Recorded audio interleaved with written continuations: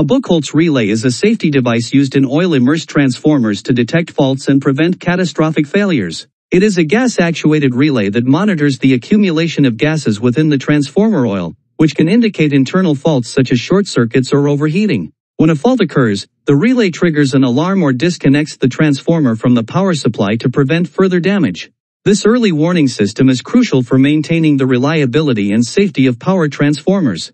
The history of the Buchholz relay dates back to the early 20th century when it was invented by Max Buchholz, a German engineer. His invention revolutionized transformer safety by providing a reliable method to detect internal faults before they could escalate.